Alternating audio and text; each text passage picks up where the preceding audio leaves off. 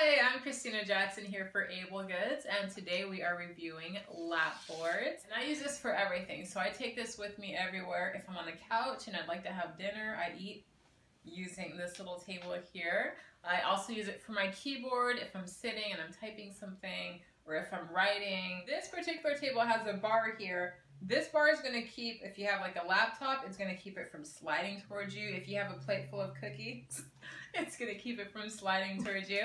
So as you see here, I have a plate full of cookies and with the bar, they can't like slide and like fall over you. So it's fantastic and I, I love that feature. If you do have paralysis or any issues with your legs, you definitely want to make sure the bottom has a pillow so that you don't get any injuries.